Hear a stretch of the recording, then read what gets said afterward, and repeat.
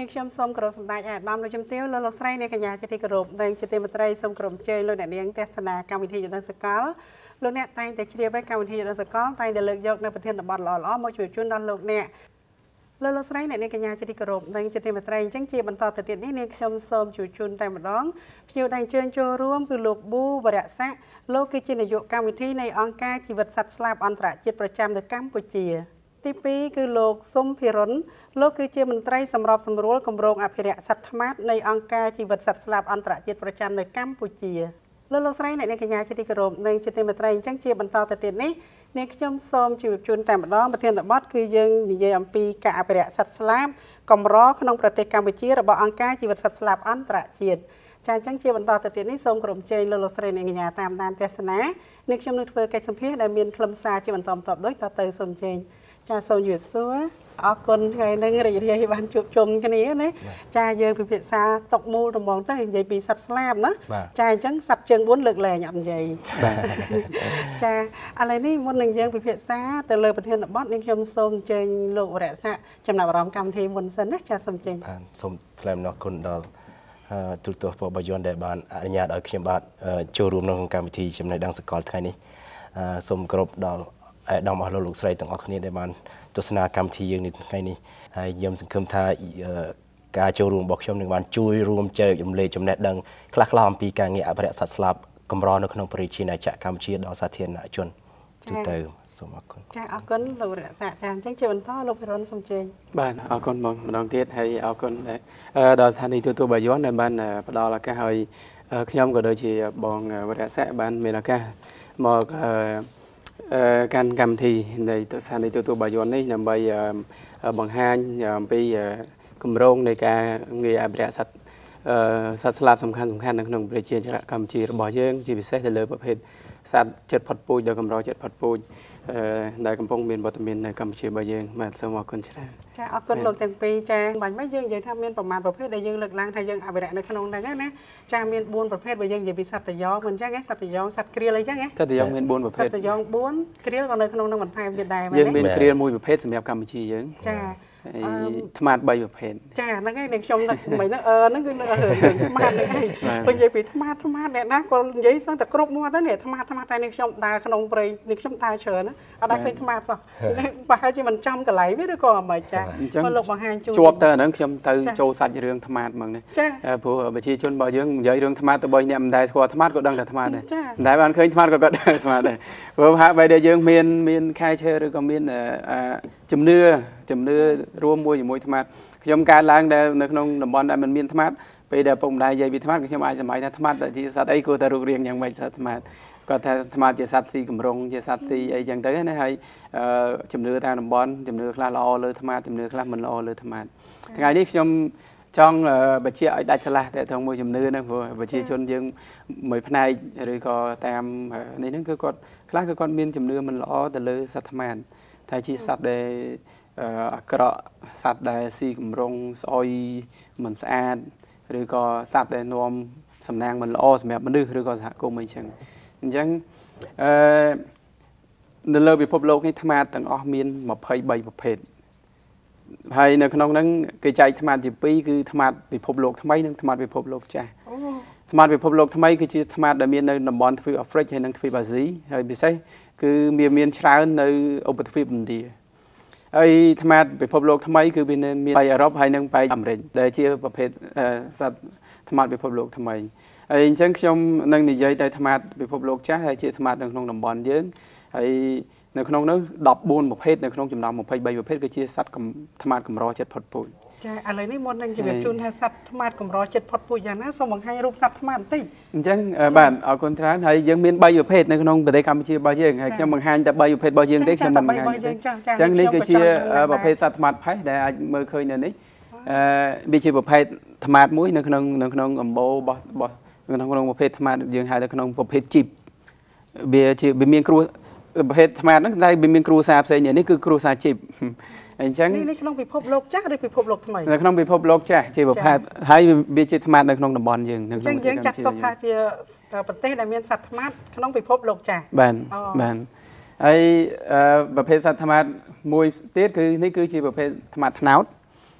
វាអឺអាចអាចមើលរូបហើយនេះសិនខ្ញុំប្រហែលជាមិន ពីពណ៌នេះទេព្រោះខ្លាយខាតពេលច្រើនខ្ញុំនឹងនិយាយពីនេះតែម្ដងនៅនៅនៅស្រុកយើងដែរនេះថតនៅស្រុកយើងនៅតំបន់ណាលោកថតនៅតំបន់ណានេះខ្ញុំចាំខ្ញុំបង្ហាញទីតាំងបងខ្ញុំបង្ហាញទីតាំងហើយនេះគឺថ្មាត់ភ្លើងប្រភេទសត្វថ្មាត់ភ្លើងយើងមានថ្មាត់3ប្រភេទនឹងដែលជាថ្មាត់កម្រចិត្តផុតពូជហើយចំនួនរបស់ទៀបចំនួនរបស់វាទៀបហើយហានិភ័យនៃការធ្លាក់ចុះរបស់វាគឺខ្ពស់ខ្លាំង សម្រាប់ហ្នឹងហើយមានការព្រួយបារម្ភហើយយើងធ្វើការអភិរក្សសត្វថ្មាត់នេះជាបណ្ដាញទាំងក្នុងប្រទេសទាំងក្រៅប្រទេសធ្វើការជាមួយអង្គការអភិព័ន្ធដើម្បីអភិរក្សសត្វថ្មាត់នេះគឺជាលក្ខណៈពិភពលោកតែម្ដងព្រោះវត្តមានរបស់វាគឺមិនមែនមាននៅតែខ្មែរទេគឺវាមាននៅប្រទេសផ្សេងទៀតនៅក្នុងតំបន់អូទ្វីបឥណ្ឌាឬក្នុងនៅក្នុងអាស៊ីអាគ្នេយ៍របស់យើងហ្នឹងហើយនៅក្នុងនោះការអនុវត្តគម្រោងទៅលើថ្មាតយើងមានគម្រោងមួយជាក់លាក់គឺយើងមានគម្រោងអភិរក្សសត្វថ្មាតកម្ពុជា គម្រោងហ្នឹងគឺជាគម្រោងមួយដែលយើងអង្គការ4ធ្វើរួមគ្នាមិនមែនអង្គការ Bird Life តែម្នាក់ឯងជាអ្នកធ្វើទេប៉ុន្តែគ្រាន់ថាអង្គការ Bird Life ឬអង្គការជីវិតសត្វស្លាបអន្តរជាតិរបស់យើងជាអ្នកសម្របសម្រួលឬក៏អ្នកដឹកនាំលើគម្រោងហ្នឹងដើម្បីធានាថាសកម្មភាពសំខាន់សំខាន់ការងារសំខាន់សំខាន់ដើរទៅរលូនហើយឈានទៅដល់ការអភិរក្សសត្វថ្មដោយជោគជ័យអញ្ចឹង អង្គការ4ហ្នឹងខ្ញុំសូមលើកម្ដងទៀតគឺអង្គការ WWF អង្គការ WCS ហើយនិង ACCB ដែលជាមជ្ឈមណ្ឌលអង្គរសម្រាប់ការអភិរក្សជីវៈចម្រុះដែលមានមូលដ្ឋាននៅក្បាលស្ពានខេត្តសៀមរាបហ្នឹងគឺយើងធ្វើការជាមួយគ្នានៅក្នុងតំបន់ហ្នឹងហើយនេះជាផែនទីផែនទីតំបន់ដែលយើងធ្វើការសិក្សាហើយអាចមើលឃើញនៅចំណុចពណ៌ក្រហមក្រហមក្រហមហ្នឹងគឺជាទីតាំងថ្មាត បើអាហារដ្ឋានឬក៏អាហារដ្ឋានថ្មាតខ្ញុំនឹងបញ្ជាក់អាហារដ្ឋានថ្មាតជាអ្វីហើយយើងធ្វើដើម្បីអីហេតុអីបានចាំបាច់មានអាហារដ្ឋានថ្មាតបាទអញ្ចឹងគឺយើងមាន7 7តំបន់ការពារឬក៏7តំបន់ដែលយើងធ្វើការប៉ុន្តែយើងមានអាហារដ្ឋានថ្មតែ6ទេរាល់ថ្ងៃនេះដោយសារតំបន់ខ្លះគៀកគ្នាពេកយើងដាក់បញ្ចូលចូលគ្នាហើយនេះជាផែនទីអញ្ចឹងបានន័យថាអឺ ថ្មាតដែលមាននៅក្នុងប្រទេសកម្ពុជារបស់យើងគឺមាននៅត្បែកអដហើយនិងបែកយសាននៅប្រទេសកម្ពុជាទេគឺនៅផ្នែកហ្នឹងហើយតយ៉ងដែលយើងមានដែលយើងនិយាយខាងលើហ្នឹងក៏នៅតែផ្នែកហ្នឹងដែរនេះជាតំបន់ដែលសំខាន់យើងហៅថាជាតំបន់ដែលมันអាចជំនួសបាននៅលើពិភពលោកសម្រាប់ប្រភេទសត្វចិត្តផុតពូជទាំងអស់ដែលសំខាន់សំខាន់ហ្នឹងព្រោះតំបន់មួយផ្នែកហ្នឹងគឺវាផ្ដល់នៅទីជម្រកដល់សត្វចិត្តផុតពូជមិនទៅជាង5ប្រភេទសម្រាប់តំបន់ហ្នឹងដែលលើពិភពលោកស្ទើរតែរករតំបន់ផ្សេងទៀតដែលមិនមានដោយតំបន់ហ្នឹង អញ្ចឹងនេះផែនទីមួយទៀតដែលវាបង្ហាញពីចរាចរណ៍ឬក៏ការហើរចល័តរបស់សត្វថ្មាតហ្នឹងនៅក្នុងប្រទេសកម្ពុជាយើងឃើញហាក់បីដូចជាវាស្គាល់ព្រំដែននៃប្រទេសកម្ពុជាអញ្ចឹងនៅក្នុងផែនទីនេះវាហើយទៅគឺវានៅក្នុងតំបន់ហ្នឹងវាអាចតែគៀកទៅវៀតណាមគៀកទៅឡាវឬក៏គៀកទៅថៃនៅក្នុងទីតាំងហ្នឹងគឺវានេះនៅក្នុងទីតាំងហ្នឹងវាចេញពីពីហ្នឹងណាវានៅតែក្នុងស្រុកយើង មិនមានន័យថាវាមានអត់មានប៉ាសពតឆ្លងនេះទេវារុនប្រកាសទេអញ្ចឹងហើយហើយក៏មិនមែនថាវាស្គាល់ព្រំដែននោះអានេះមិនមែនកម្ពុជានេះទៅនេះវាវាអាចជាវាមានកតារបស់វាដែលថាវាធ្វើឲ្យកំណត់នៅព្រំដែនចល័តរបស់វាថាហេតុអីបានវាអត់ដល់ទៅនោះបានអញ្ចឹងណាដោយសារតែយើងតំបន់របស់យើងដែលនៅសេសសល់ខាងនេះគឺជាតំបន់ដែលសម្បូរទៅដោយធនធានធម្មជាតិព្រៃឈើដែលនៅសេសសល់សត្វចំណីអាហារហើយតំបន់ដែល ដែលគៀកទៅនោះគឺវាបានបាត់បង់នៅប្រភពគ្រប់គង់នៃជីវិតរបស់វា ដែលធ្វើឲ្យវាមិនអាចថាសម្រេចចិត្តថាទៅលេងយកដងរបស់នៅឡាវទៅលេងអីតិចតួចវាអត់អត់ទៅកើតនេះជានេះហើយសម្រាប់ការងារអភិរក្សសត្វថ្មដែលយើងធ្វើកន្លងមកហ្នឹងគឺយើងមានកម្មវិធីច្រើនហើយសកម្មភាពតូចតូចផ្សេងផ្សេងទៀតដើម្បីគ្រប់គ្រងទៅលើការងារអភិរក្សហើយជាក់ស្ដែង វាអត់ខុសគ្នាពីការអភិរក្សតយងចំកំកសនិងតយងយៈប្រហែលទេដោយសារតែយើងការពារសបុកបងកូនយើងការពារនេះប៉ុន្តែអ្វីដែលប្លែកនោះគឺយើងមានអាហារដ្ឋានថ្មាតអ្វីទៅជាអាហារដ្ឋានថ្មាតចាមិនភោជនីយដ្ឋានទេណាអាហារដ្ឋានវាតូចជាងភោជនីយដ្ឋានណាអាហារដ្ឋានភោជនីយដ្ឋានវារៀងកលិបជាងរៀងកលិបជាងនេះខ្ញុំឆ្ងល់តែព្រមមើលរៀបរាប់ថែមតិចមើលឡាអាហារដ្ឋានថ្មាតហេតុអីបានយើងធ្វើអញ្ចឹងអឺ អ្វីដែលយើងសិក្សាកន្លងមកមូលហេតុនៃការបាត់បង់ប្រភេទសត្វថ្មាតពីលើពិភពលោកអឺបានថ្មាតមានស្ទើរតែពីពេញថ្មាត3ប្រភេទហ្នឹងណាគឺមានពីពេញនៅតំបន់ស្ទើរអាស៊ីរបស់យើងហ្នឹងនៅចិននៅវៀតណាមនៅភូមានៅម៉ាឡេស៊ានៅភូមិនៅ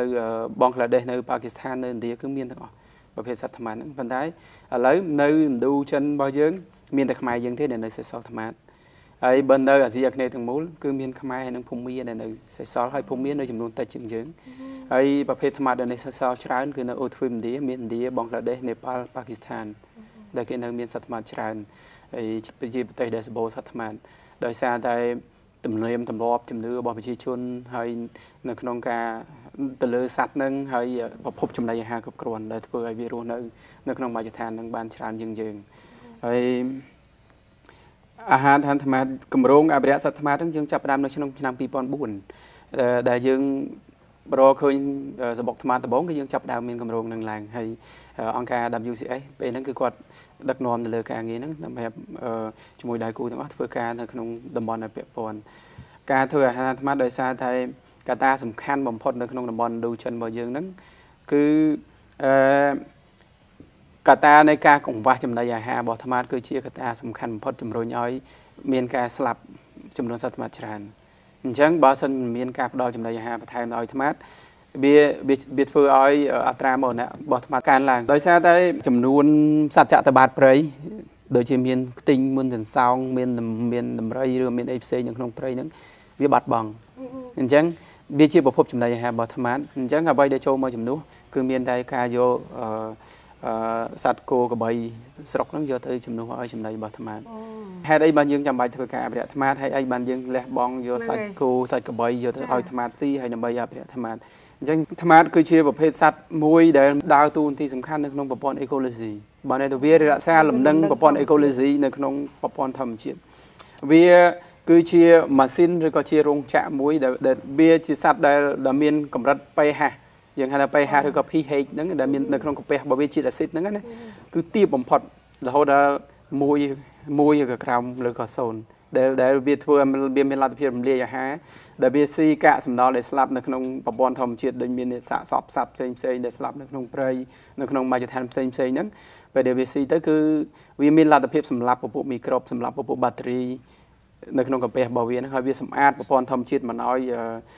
សាកសពនឹងហូររលួយចូលទៅក្នុងប្រព័ន្ធទឹកចូលទៅក្នុងសម្អាតខ្យល់សម្អាតទឹកសម្អាតអញ្ចឹងតួនាទីរបស់វាសំខាន់នៅក្នុងហ្នឹងវាជាប្រភេទសត្វមួយដែលយើងត្រូវធ្វើធ្វើការការពារសំទោសនិយាយស្រួលស្ដាប់ថាវាជាអ្នកសម្អាតបរិស្ថានបាទវាជាអ្នកសម្អាតបរិស្ថានជាភ្នាក់ងារបរិស្ថាន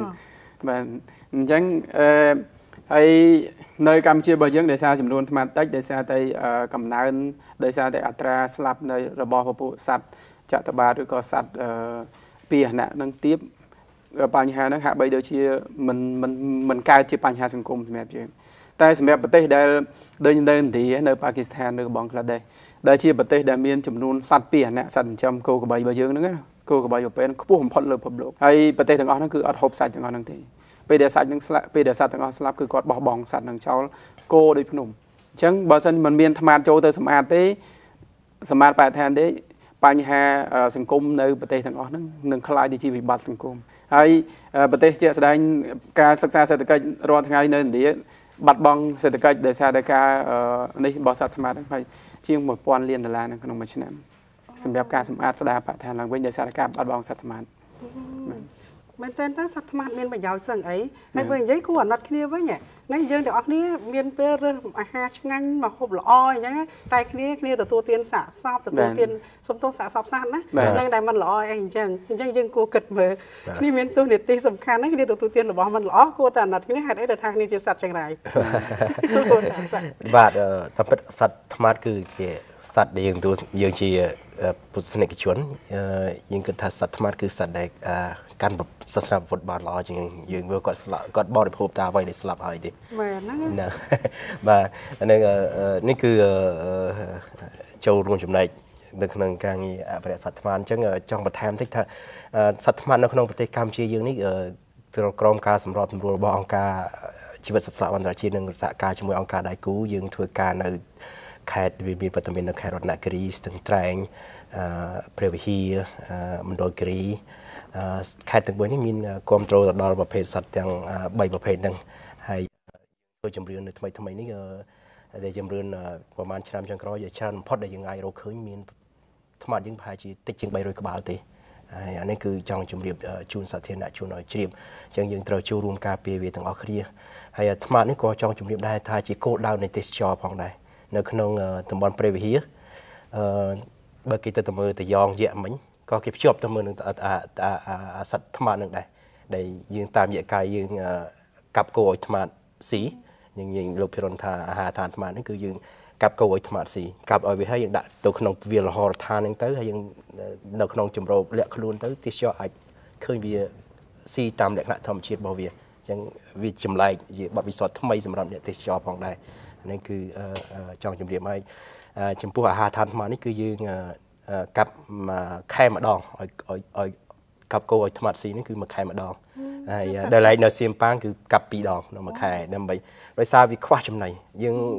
កន្លងមកយើងឃើញថាមានខ្លះហើធ្លាក់ហ្មងដោយសារគ្នាអស់កម្លាំងដោយរោចំណីយ៉ាងបានហើយសត្វនេះវាហើឆ្ងាយឆ្ងាយណាស់ហើយយើងបានខាងណា sponsor សាច់ហ្នឹងបាទមានគម្រោងដែលយើងគ្រប់គ្រងដោយម្ចាស់មូលនិធិមួយចំនួនដូចជាគម្រោងដោយដោយឈ្មោះថា donor យើងឈ្មោះ CEPF Critical Ecosystem Partnership Fund ហើយក៏មានម្ចាស់ជំនួយដែលជាគេហៅថាសប្បុរសជនផងដែរដែលគាត់គាត់ចូលរួមក្នុងការផ្ដល់ជាថវិកាហើយនៅខាងព្រះវិហារចំណូលបានពីទេសចរក៏បានគាត់គងទៅដល់ថ្មាតការផ្ដល់អាហារឋានដល់ជាជាគោចឹងនិយាយថាគោត្រូវបានគិតបញ្ចូលក្នុងតម្លៃសម្បត្តិដែលទេសចរចូលទៅទិញចូលទៅមើលហ្នឹងចឹងអញ្ចឹងអញ្ចឹងវាបានចំណូលដល់សហគមន៍ហើយក៏វាបានផ្គត់ផ្គង់ អាហារដល់ថ្មាតនឹងផងដែរបាទចាចុះបើដឹងថាអញ្ចឹងចេះណាប្រសិនបើយើងផ្សព្វផ្សាយអញ្ចឹងទៅស្រាប់តែលោកអ្នក នឹកឃើញគាត់ថាគាត់គាត់ដូចថាគាត់ម្ចាស់កសិដ្ឋានអញ្ចឹងណាគោរាប់ពាន់ក្បាលអញ្ចឹងទៅប្រពែរាប់ពាន់ក្បាលឧទាហរណ៍ណាហើយគាត់ចូលមក sponsor មួយយើងចូលរួមអីយើងមិនណាស្វាគមន៍បងស្វាគមន៍ព្រោះយើងស្វាគមន៍យ៉ាងនិយាយថាមួយឆ្នាំមួយតំបន់ត្រូវការគោពី10ក្បាលអញ្ចឹងបាទបាទសម្រាប់តំបន់មួយសម្រាប់តំបន់មួយបាទអញ្ចឹងតិចដែរណាប៉ុន្តែចង់ជម្រាបថាគោតម្លៃមានការកើនឡើងក៏យើងចង់និយាយថាពីឆ្នាំ2004មួយតែប្រហែលជា150ដុល្លារឡើងឡើងដល់350ដុល្លារក្នុងមួយក្បាលយើងយើងមានបញ្ហាដែរចង់និយាយតាមដល់ហើយយើងក៏ព្យាយាមអប់រំសបផ្សាយដល់សហគមន៍ផងដែរដោយសារសហគមន៍មួយចំនួនគាត់អូខេគាត់និយាយថាគាត់ត្រូវការបរិភោគដែរហើយបានគេពួកយើងយល់ថ្មាតវិញប៉ុន្តែយើងច